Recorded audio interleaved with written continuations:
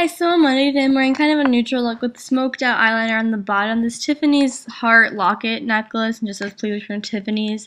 For my hair, the ends are just curled with a one and a half um, curling iron barrel, and I just clipped it back in the back, obviously, just so the bangs wouldn't be my face. This tie is from H&M, and I tied in this little thing in the front. My skirt's also from H&M, and my bag is from Steve Madden, and I wore this outfit with like these gold and white sandals from Forever 21, and my bracelets are both from Forever 21. That was it for Monday. On Tuesday, I wore really neutral I look, just light shimmer eyeshadow mascara, the same heart Tiffany's locket on my neck.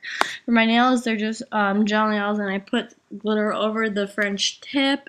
For my outfit, I'm wearing a bandeau under this really kind of sheer sweater top from Forever 21. It's really not hot to wear at all. It's really cute. My hair is just straightened, and I'm wearing these jeans from PacSun. They're Bullhead jeans and a belt from Banana Republic, and I just wore these with sparkly sandals. And yeah, for my jeans, it's another close up. They kind of have just like rips in them, but they're casual. And I just wore this cheetah headband, but I ended up taking it out.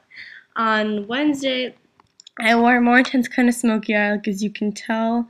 Um, on my lips, I wasn't wearing anything. I'm wearing these little kind of crystals from Nordstrom Rack. Same necklace from, yeah, I mascara my hand, from Tiffany's. Same nails, my pinky fell off. Ow. And then for my top, I'm wearing this striped top with gold detailing from Forever 21. These mint green jeans from H&M, which I love. I am wearing a belt with them, but you can't see it. And I wore gold sandals, and my hair is just in a little ponytail.